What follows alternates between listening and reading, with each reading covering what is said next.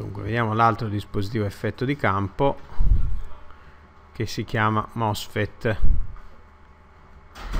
E questo in realtà è il tipo di transistore in assoluto più utilizzato e eh, lo vediamo un po' per ultimo perché la cosa che abbiamo visto sul JFET in particolare aiuta a capire il funzionamento di questo dispositivo. Allora, la parte iniziale Mo, MOS sta per Metal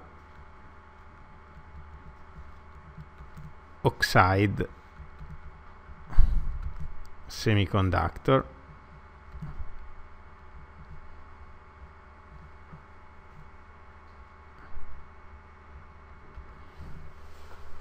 Quindi MOS è un FET uh, con metallo ossido semiconduttore col sistema metallo ossido semiconduttore. Che cosa vuol dire questo in pratica la uh, struttura del dispositivo è fatta in questo modo vediamo un MOSFET a canale N come si dice N MOSFET MOSFET a canale N. MOSFET può essere anche a canale P. Anche il JFET può essere a canale P ma è praticamente inutilizzato. Il MOSFET a canale P invece è utilizzato altrettanto che il MOSFET a canale N. Quindi dobbiamo eh, vederlo in, in, maggiore dettaglio. Allora, vi, vi, vedendo la cosa in sezione sulla fetta di silicio, noi abbiamo questa situazione. Eh, c'è un, un, un diciamo una regione drogata di tipo P, uh, due regioni drogate di tipo N dove realizziamo il contatto di source e il contatto di drain.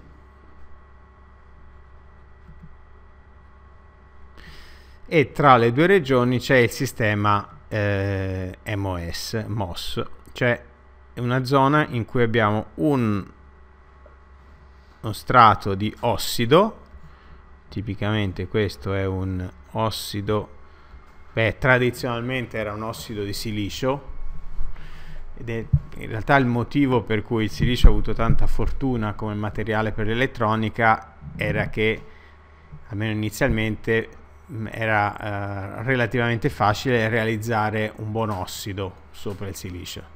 L'ossido di silicio è particolarmente buono come isolante. Qui serve un materiale che sia un isolante praticamente perfetto con pochissimi difetti. Cosa, come dire, interessante da notare è che almeno da 10 anni non si usa più l'ossido di silicio per fare l'ossido. Nei, nei, nei processi eh, molto scalati, aggressivi, specialmente quelli adoperati nei microprocessori più recenti per, per calcolatori, telefoni, eccetera, l'ossido non è più di silicio, è essenzialmente un ossido di una terra rara che si chiama afnio. Adesso si usa ossido di afnio per, per, perché ha delle caratteristiche isolanti migliori del, dell'ossido di silicio. Ora, questo aspetto diciamo ci interessa poco. Afnio si scrive così in italiano, Afnio, eh, è HF il simbolo, in, in inglese si chiama Hafnium con l'H iniziale. Poi è rimasto il silicio perché ha tante altre eh, buone caratteristiche, ma soprattutto perché ormai la tecnologia per eh, dire, processare, fabbricare il silicio è arrivato a un livello di, mh, mm, dire, di, di, di, avanzamento tale per cui non conviene passare a un altro materiale. Ormai si sa tutto del silicio, sono stati mm, centinaia di migliaia di miliardi di dollari investiti negli ultimi vent'anni nella tecnologia del silicio. E per cui si continua a usare quello, però all'inizio, eh, ho raccontato che all'inizio i primi transistori si facevano in germanio e il motivo per cui si passò a un certo punto dal germanio al silicio è che sul germanio l'ossido non si cresceva decentemente, sul silicio sì, si passò al silicio per quello. Eh, insomma, un po' la cosa attecchita, adesso il motivo principale è sparito, però poi la tecnologia è talmente matura che rifare la tecnologia per un altro materiale è diciamo una cosa che non ha voglia di fare nessuno. È un investimento che non ritorna. E poi sopra c'è uno strato metallico che è il contatto di gate. Questa è lo, la struttura MOS vedete metallo, ossido, semiconduttore. C'è un sandwich di tre strati differenti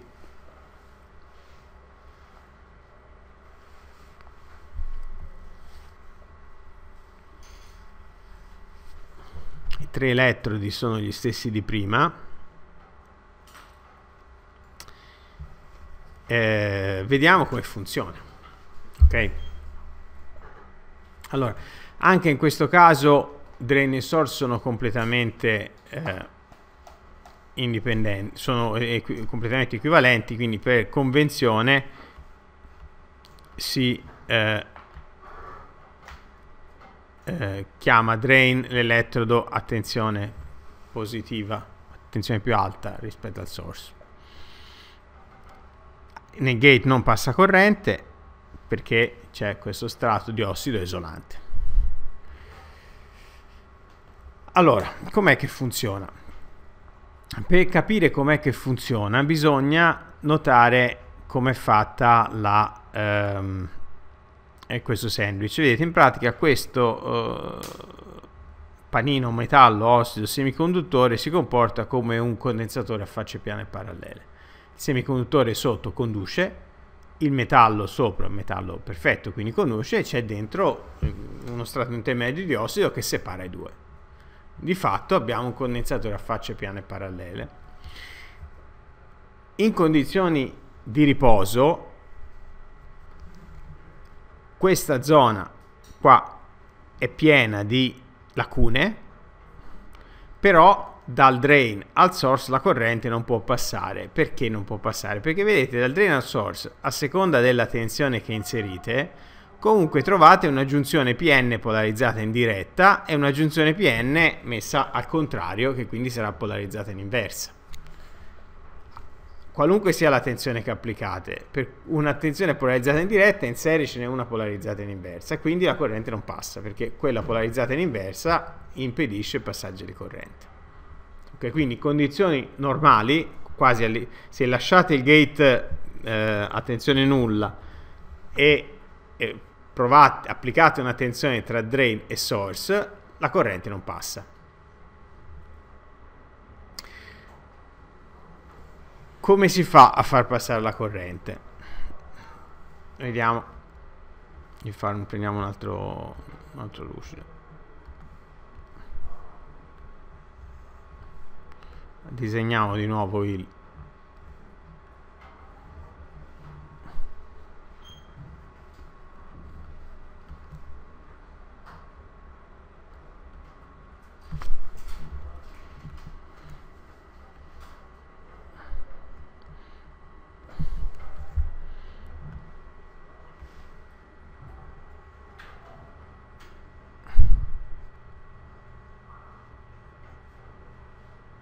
disegniamo di nuovo il dispositivo ed evidenziamo le eh,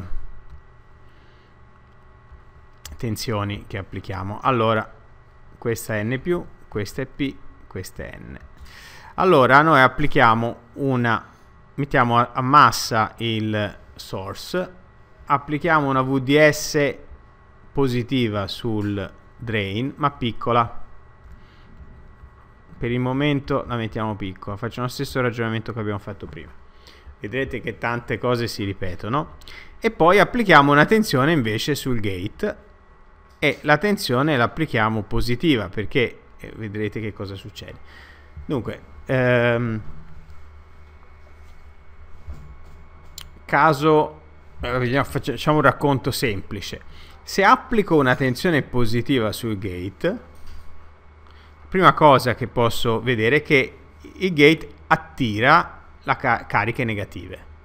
Queste cariche negative, poche che sono contenute qua nella regione tipo P, vengono attirate verso il gate e rimangono, come dire, bloccate alla interfaccia con l'isolante, con l'ossido. perché non possono attraversare l'ossido e rimangono bloccate là. Quindi si forma un,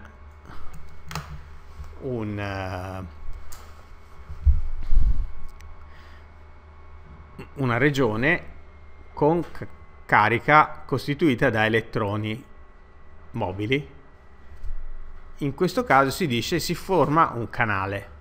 D'accordo? Quindi con VGS maggiore di 0 pian piano si forma il canale. Si forma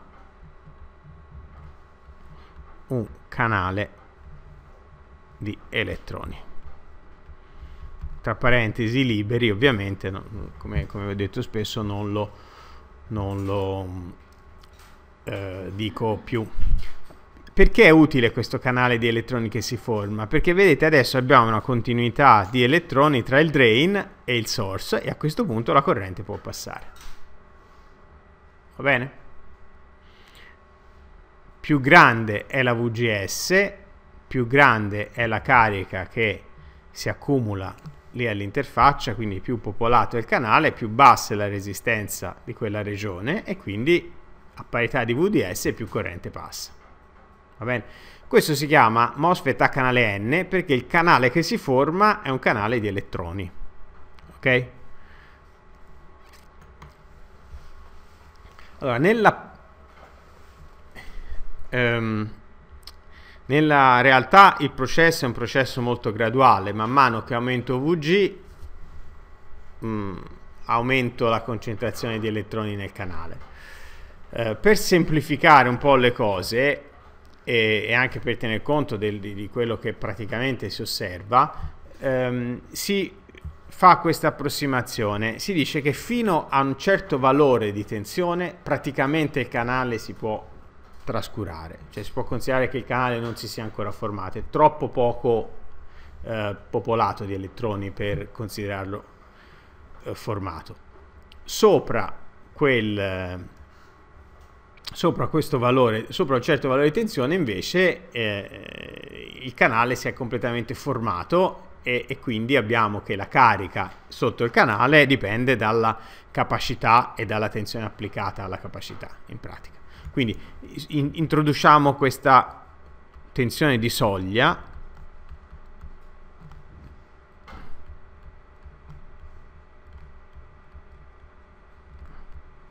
e si dice che se VGS è minore di VT il canale non si è ancora formato non si è formato ancora dipende da che, che direzione stiamo facendo non si è formato. E per VGS maggiore di VT il canale è presente. Va bene? Tenete presente che questa è un'approssimazione in realtà è molto graduale la formazione del canale. È perché come al solito poi abbiamo bisogno di, di, di fare delle approssimazioni. Noi diciamo che per VGS minore VT il canale non si è formato e quindi non passa corrente va bene quindi anzi diremo che il transistore è in interdizione quindi non corrente uguale a 0 interdizione. La regione di funzionamento è quella di interdizione. La ID è questa qui.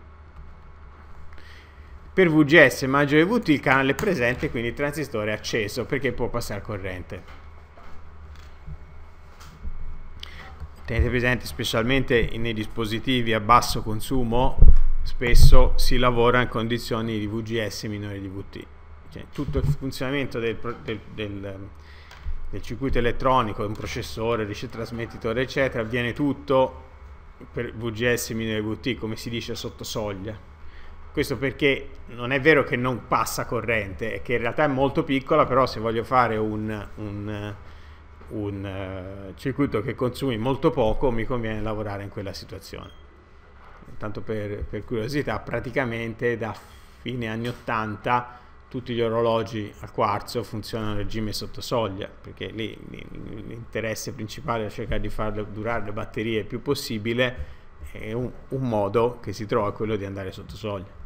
Okay, quindi diciamo, sono mh, ah, distinzioni molto grossolane che, che sono comode per capire che cosa succede, però poi uno deve sempre, come al solito, tenere presente che se io faccio un'approssimazione riesco a Uh, come dire, semplificare il tutto e spiegarlo meglio, magari anche capirlo meglio, però devo sempre ricordarmi che sto facendo un'approssimazione, per cui poi è importante eh, negli aspetti tecnici e scientifici ricordarsi sempre l'assunzione che si è fatto e che le conseguenze derivano molto dall'assunzione che si è fatto, ma l'assunzione non è una verità universale, spesso è o un'assunzione semplificativa o una cosa che è vera soltanto in certe condizioni. È bene ricordarsi in quali condizioni è vera, perché altrimenti poi se si estende il modello troppo oltre il regime di validità eh, poi si dicono cose che non sono più vere. Allora, e va bene, eh, se vado a disegnare la caratteristica di uscita, come ho fatto per i JFET, che cosa ottengo? Eh, ottengo la stessa cosa che ottengo per i JFET. Vediamo caratteristiche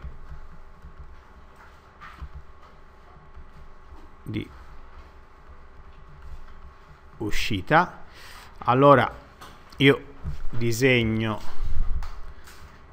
id, il grafico di d, in, in funzione di VDS usando VGS come parametro, va bene? Quindi io mi metto qua, ho id in funzione di VDS, per piccole VDS, quindi sto qui, usando VGS come parametro che cosa succede? Beh, praticamente per quello che ho detto, finché, facciamo il rosso si capisce meglio forse, finché VGS è più piccola di VT della tensione di soglia, e la corrente è praticamente nulla. E è praticamente nulla. E quindi sono qua. Quindi questa è la regione, diciamo, VGS minore di VT. Su questo grafico io non vedo niente.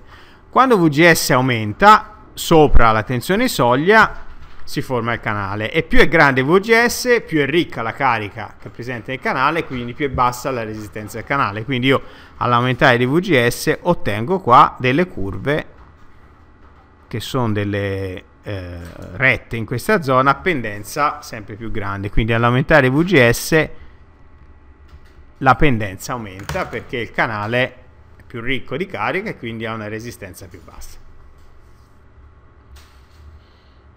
Vedete, questa cosa qui succedeva anche per il, mm, per il JFET. Ora devo vedere che succede quando aumento la tensione sul drain. Riprendo il disegno del MOSFET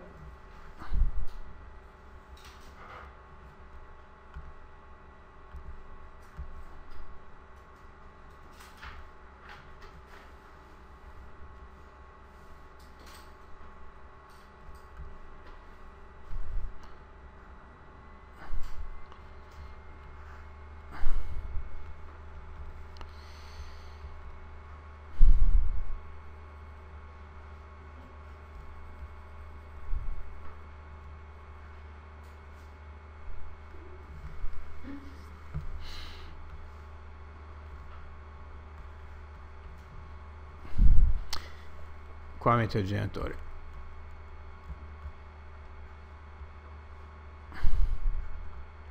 allora se aumento VD che cosa succede? succede questo che la differenza di tensione tra gate e source diventa maggiore della differenza di tensione tra gate e drain perché ovviamente VGD è uguale a VGS meno VDS quindi siccome VDS è positiva avrò che VGD sarà più piccolo di VGS. Che cosa vuol dire? Vuol dire che nella pratica avrò più carica perché la tensione è maggiore tra gate e source, quindi avrò più carica accumulata sotto il source di quella che ho accumulata sotto il drain. Quindi il canale è più popolato sotto il source perché la VGS è più grande e è meno popolato sotto il drain. Quindi il canale diventa rastremato in questo modo. Questi sono elettroni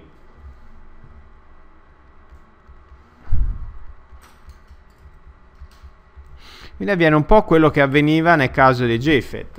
Immaginate di fare la cosa a VGS costante. Se aumento VDS, prima un canale che è uniforme, come mh, popolazione di elettroni, poi all'aumentare VDS si stringe verso il drain. Che cosa, cosa, succederà? Succederà ovviamente che all'aumentare VDS la resistenza del canale aumenta perché si sta stringendo da una parte. Questo vorrà dire che le caratteristiche di uscita, come abbiamo detto prima, non saranno più lineari, ma di nuovo cominceranno qui a curvarsi perché contemporaneamente si sta stringendo il canale vicino al drain, cioè sta aumentando la resistenza. Fino a che punto? Fino al punto in cui quando VGD diventa uguale a VT abbiamo la soglia vicino al canale. Se VGD diventa, appena VGD diventa più piccolo di VT, la, la, per, per l'approssimazione di soglia che abbiamo fatto prima, eh, dobbiamo dire che è sparito il canale vicino al drain. Abbiamo avuto di nuovo uno strozzamento del canale.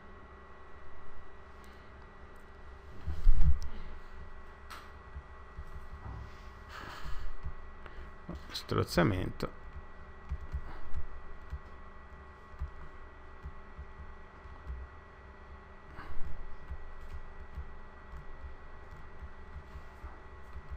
Vedete, è esattamente lo stesso meccanismo che abbiamo visto sul JFET. È chiaro che se noi diciamo che il canale c'è soltanto quando la tensione tra il gate e il canale raggiunge VT, eh, quando VGD diventa uguale a VT, quello è il limite eh, diciamo, sotto il quale il canale è completamente sparito. Va bene?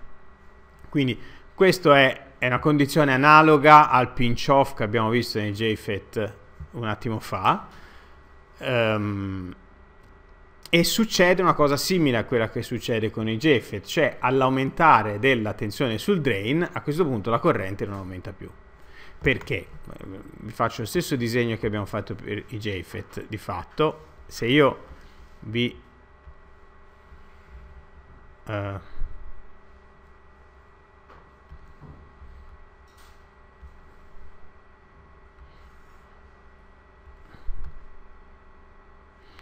presento il pozzetto di qua e di là. Non faccio più tutto il resto eh. faccio soltanto esagero un pochino il canale per farvelo vedere meglio. Io ho questa situazione. Anzi aspettate. Facciamo così. Ok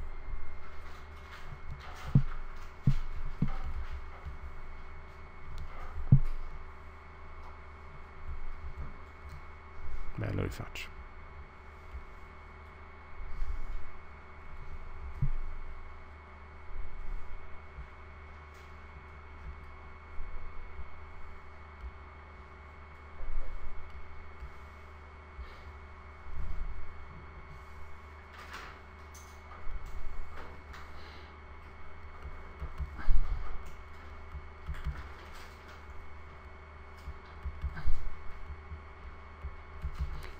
allora qui immaginiamo che VGD sia uguale a VT VGD uguale a VT vuol dire siccome VGD è uguale a VGS meno VDS uguale a VT vuol dire che VDS è uguale a VGS meno VT ok? Quindi questa è la situazione.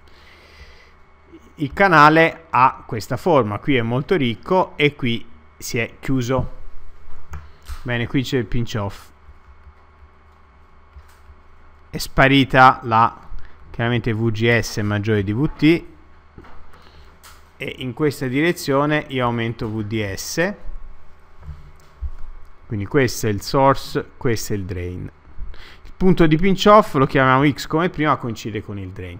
Quando la, la tensione aumenta dal source verso il drain. Se VDS l'aumento rispetto a questo valore vuol dire che il punto dove ho pinch off si sposta un po' verso sinistra d'accordo? Quindi qui avrò una cosa di questo tipo. Chiaramente al pinch off, se x è il punto di pinch off, come abbiamo detto nel caso dei JFET, vuol dire che Vgx è uguale alla tensione di soglia. Bene? E quindi Vgs meno Vxs è uguale a Vt e cioè Vxs è uguale a VGS meno Vt. Vedete, il punto dove ho il pinch off non dipende dalla la tensione del punto dove ho il pinch off rispetto al source non dipende da VDS, è una costante, dipende soltanto da VGS. D'accordo? Quindi qui il punto X si sposta in questa parte e la, questa qui sarà Vxs costante, quando aumenta la VDS aumenta la caduta tra questo punto e questo. Se aumento ancora VDS, X si sposta ancora qua. Quindi è esattamente lo stesso effetto di prima.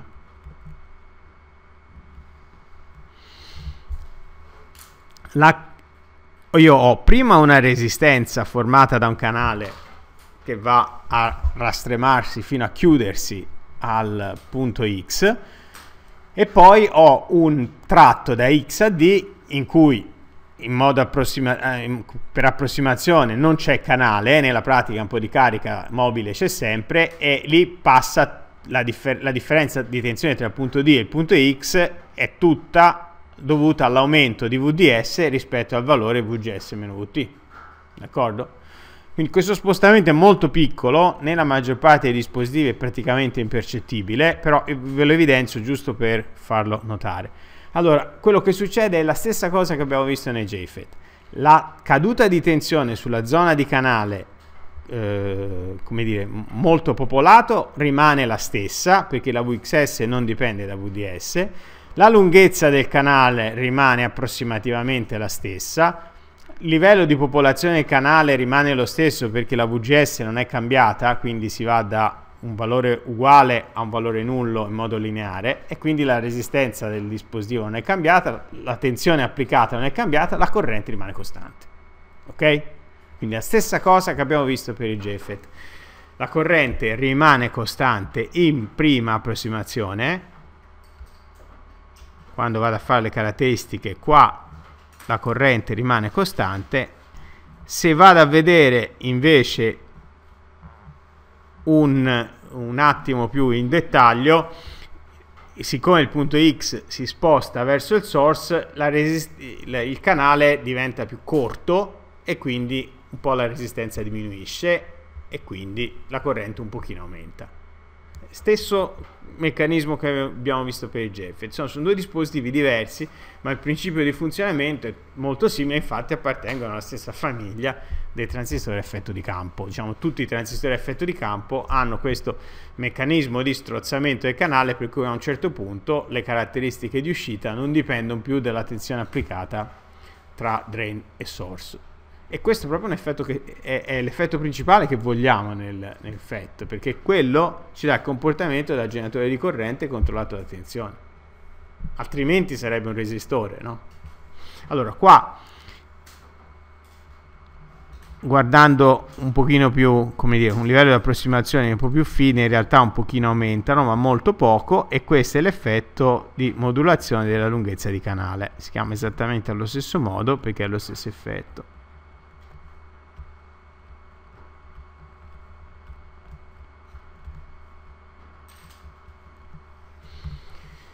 Va bene, quindi di nuovo questa si chiama zona di saturazione.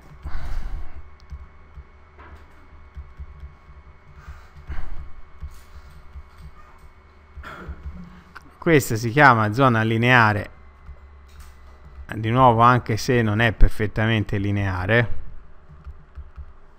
E la separazione tra le due zone si ha quando VGD è uguale a Vt, che vuol dire VDS uguale a VGS meno Vt.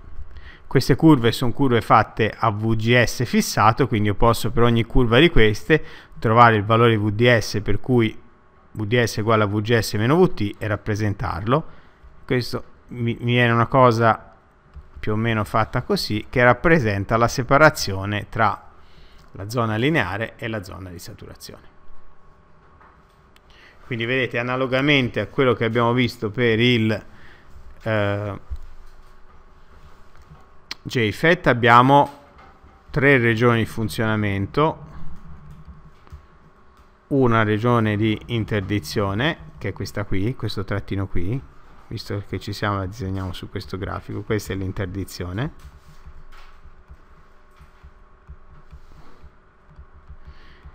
Una regione eh, li lineare che poi nella pratica o anche, si chiama anche zona triodo questa come nei JFET che nella pratica ha un primo tratto lineare e un secondo tratto che assomiglia un po' di più a una parabola ok? Con la concavità verso il basso. Si chiama di nuovo lineare lo stesso insomma non, si sa che non è proprio lineare però il nome è quello. E poi abbiamo la zona di saturazione.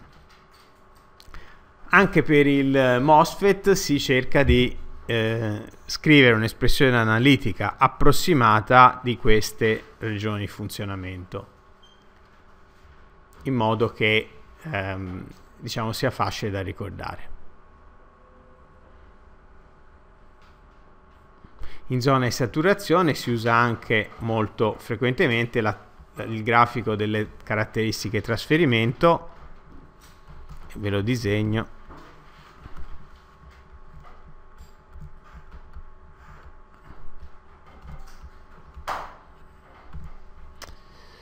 quindi VDS maggiore di VGS meno VT in modo da essere sicuri che siamo in saturazione quindi in saturazione. E si rappresenta quindi caratteristiche di trasferimento vuol dire la corrente d'uscita in funzione della tensione d'ingresso. Quando si dice di trasferimento si intende sempre che c'è una corrente e una tensione su una porta in funzione della corrente e la tensione su un'altra porta. Allora, qui c'è VG, VGS, non VDS. V.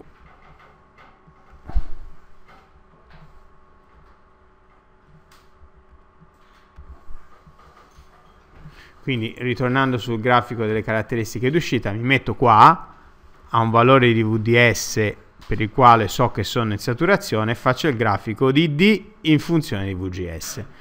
E lo faccio perché tanto non è importantissimo il valore di VDS in cui sono, perché in realtà eh, la corrente praticamente non dipende da VDS. Come è fatta la curva? È fatta così. Finché VGS non è uguale alla tensione di soglia, la corrente è nulla.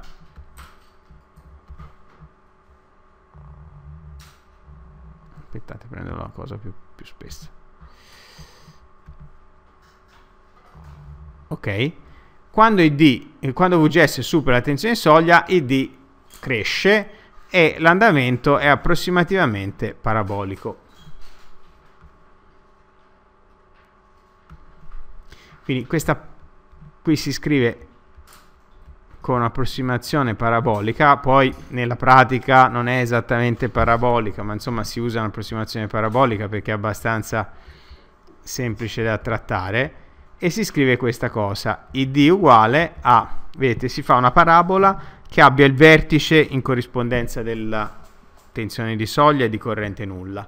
Quindi chiaramente viene una cosa del genere, id uguale a ehm, beta per VGS meno VT al quadrato quella è una parabola che è il vertice quando in VGS uguale a VT, perché come vedete sia la derivata prima sia la derivata seconda sono nulle quando VGS è uguale a VT. Questa è l'approssimazione parabolica. Se si vuole tenere conto della modulazione della lunghezza di canale, tenere conto della modulazione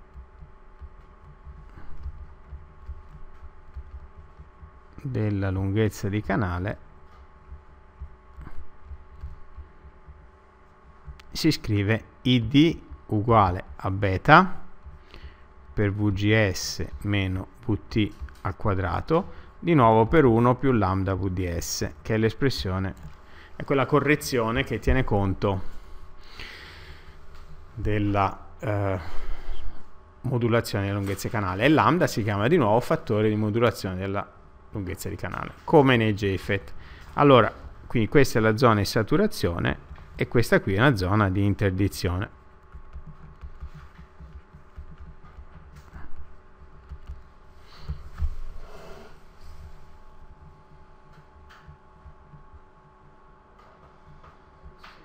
Sì. Beta è una costante questa è una costante che dipende da alcuni parametri geometrici del transistore che vediamo tra un attimo. Per il momento non lo, non lo Ora, per il momento per noi è una costante, mi, mi indica questa proporzionalità che c'è tra le, tra le, grandezze e si chiama beta. In generale quando si parla del beta di un, di un MOSFET si, si indica eh, direttamente quella costante. Allora, quindi eh, per eh, riassumere e vedere anche il modello di grande segnale, vediamo le regioni di funzionamento del MOSFET, regioni di funzionamento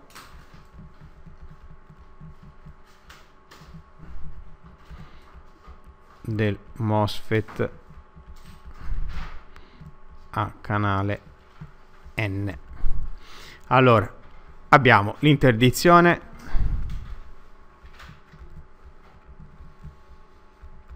Che si ha per VGS minore di VT e il modello, l'equazione che dire, descrive il funzionamento del MOSFET è di uguale 0 in pratica il MOSFET è un circuito aperto. Mm? poi abbiamo la condizione di saturazione in cui abbiamo VGS maggiore di VT e poi però deve essere VDS maggiore di VGS meno VT. Vi ricordate? L'abbiamo ricavata... Uh, dove l'abbiamo ricavata? L'abbiamo ricavata... Eh, quando VGD è uguale a VT, forse l'abbiamo scritto esplicitamente qui. Questo è quando... Sì, VDS uguale a VGS meno VT, siamo qua al pinch off. E dopo, in questa situazione qui, siamo quando... Uh, VDS è maggiore di VGS meno VT. Quindi questa zona qui si ha quando VDS è maggiore di VGS meno VT. Qu questa stessa cosa l'abbiamo detta anche qua quando abbiamo scritto le caratteristiche, no?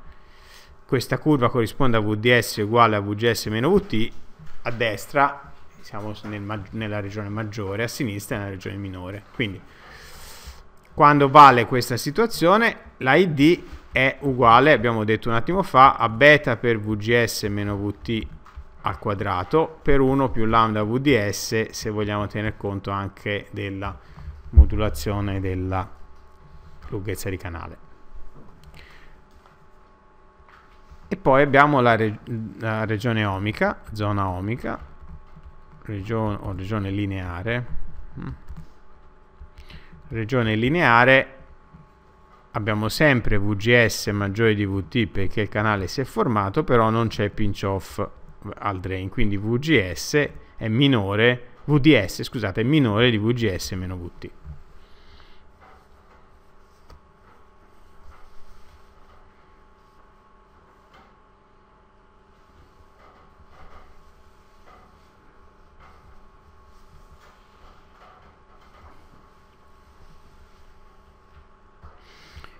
Allora, in quel caso lì si scrive un'espressione di questo tipo. È molto approssimata anche questa, però rende abbastanza bene ragione di quello che succede. E, e serve per descrivere quel tratto lineare.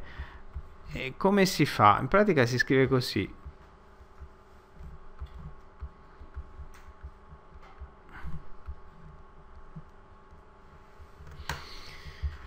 E si mette un termine di, de, è una parabola con la concavità verso il basso perché a, quel, a, quella cosa assomiglia ed è fatta in modo che raccordi i due termini. Cioè vedete scritta in modo tale che in quando VDS è uguale a 0 la corrente sia nulla. Infatti lo è giusto? Quando VDS invece è maggiore eh, eh, di 0 dall'altra parte al punto in cui c'è il pinch off quindi al confine tra la regione di saturazione cioè quando VDS è uguale a VGS meno VT le due curve si raccordano. In realtà si raccordano bene se trascuro il termine di modulazione della eh, lunghezza di canale si raccordano perfettamente cioè la curva della regione lineare ha lo stesso valore della saturazione e anche la stessa derivata perché c'è il vertice della parabola a quel punto va bene? È un modo per raccordare le due curve, fare una sorta di, di mh, eh, sì, spezzata di curve invece che spezzata di rette, è abbastanza approssimato, però giustifica bene il comportamento. Infatti vedete, per VDS molto piccoli, in cui posso considerare soltanto il termine del primo ordine, in pratica ho una relazione lineare tra ID e VDS, che è il primo tratto. Poi all'aumentare il VDS la reazione è sublineare, perché c'è un termine VDS quadro che si sottrae, e quando VDS è uguale a VGS meno VT, quindi sono a confine con la saturazione, la derivata viene 0 perché poi tanto continua con la zona piatta. Va bene? Questo è, ripeto, è un'espressione approssimata che si usa perché è semplice, eh, sapendo che è molto approssimata.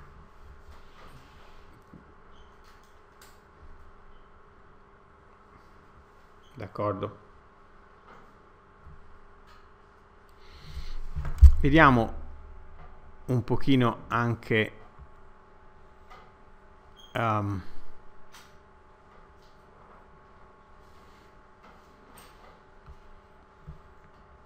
qualcosa del beta. Come è fatto questo beta? Questo per il momento è una costante però mh, mm, voglio dire vale la pena entrarci un po' dentro perché alcune delle dipendenze sono abbastanza eh, facili da vedere e contemporaneamente mi, eh, mi, mi, mi, aiutano un po' a spiegarvi come avviene in tanti casi la progettazione di eh, circuiti con eh, MOS. Dunque, questo beta è il, diciamo, si può scrivere con un'espressione che dipende da alcuni parametri geometrici e alcuni parametri dei materiali che si adoperano. Eh, vi, vi, dico quali sono e ne, poi ne parliamo insieme. Quindi questo si può scrivere come un mezzo, non vi sto a dimostrare il perché, però epsilon dell'ossido per epsilon 0 diviso lo spessore dell'ossido per W su L.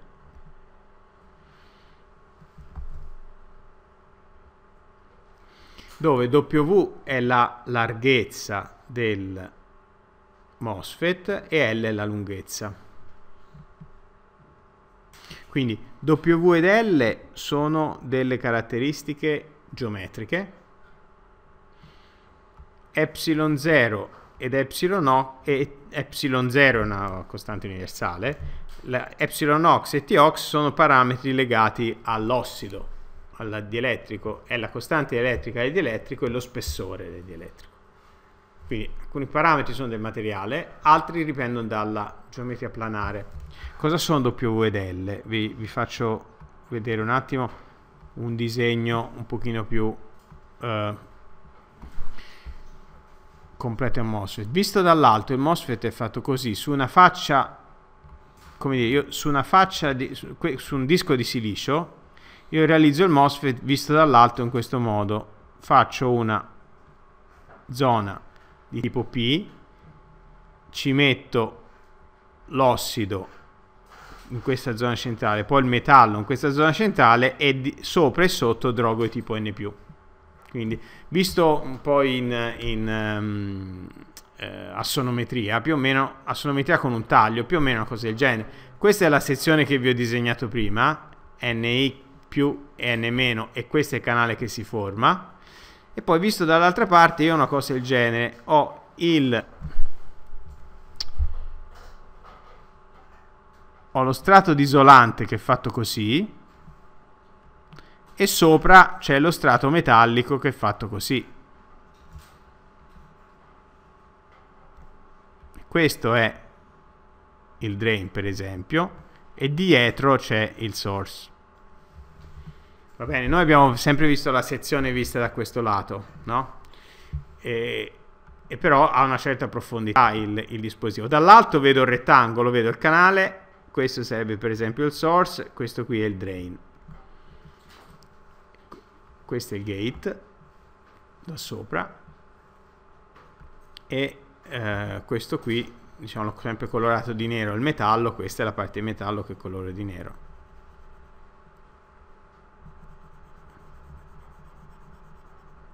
Vabbè, si capisce da che forma ha, no? Il canale è questo qui, qui sotto, quindi è...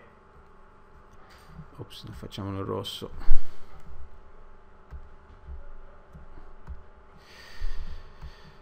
Il canale è molto popolato verso il source e poi tende a stringersi verso il drain. È tutto così, va bene? Allora, W ed L sono queste quantità. L è questa distanza, la lunghezza del canale e W è la larghezza del canale. Quindi immaginate dal punto di vista della resistenza, la resistenza del canale tra drain e source sarà tanto più alta quanto L è alta e tanto più piccola, cioè sarà, la resistenza sarà direttamente proporzionale a L e inversamente proporzionale a W. La conduttanza, e quindi la corrente a parità di tensione, sarà direttamente proporzionale a W e inversamente proporzionale a L per quello il beta è fatto così Io lo riscrivo un attimo qua beta è un mezzo epsilon 0 per epsilon ox su tox per W su L. Quindi questa dipendenza è perché la corrente, cioè l'inverso della resistenza, è proporzionale alla larghezza e inversamente proporzionale alla lunghezza. Che questa è semplicemente legge di Ohm. Questo Tox è questo spessore, è lo spessore del dielettrico spessore dell'ossido. E lì in generale il motivo è che più è grande lo spessore dell'ossido, più è piccola la capacità e quindi a parità di tensione applicata eh, attiro ca eh, meno carica, se la capacità è più piccola attiro meno carica sulla, ehm, sulla faccia inferiore, quindi dove c'è il canale. Per cui più è grande lo spessore dell'ossido, peggiore è il beta perché ho meno, canale, meno carica nel canale e quindi meno corrente. Va bene? Questo uh, è una cosa effettivamente utile da vedere che se io guardo la cosa come condensatore a facce piane parallele, la capacità di questo condensatore, chiamiamo la capacità del condensatore che vedo dal gate, quant'è? Sapete com'è la capacità di un condensatore a facce piane parallele? Devo mettere ε0 epsilon del dielettrico per l'area diviso la distanza. No, vedete, assomiglia un po' a come è fatto il beta. Di fatto il beta, questo termine qui del beta è... Ah, mi, mi sono dimenticato un pezzo. Eh. Questa qui del beta la chiamo anche a volte COX, perché è la capacità dell'ossido dell'ossido per unità di superficie.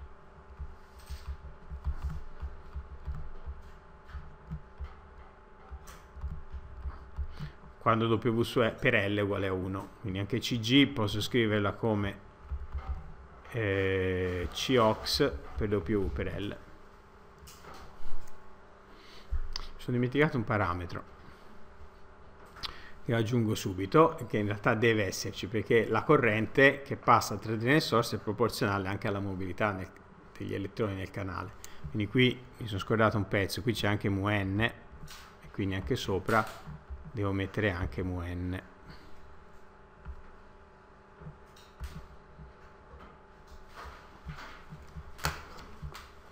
ok questa è una dimenticanza da colmare. Ok, c'è anche MUN, la mobilità degli elettroni nel canale. Chiaramente più alta la mobilità degli elettroni nel canale, più a parità di tensione applicata è alta la corrente.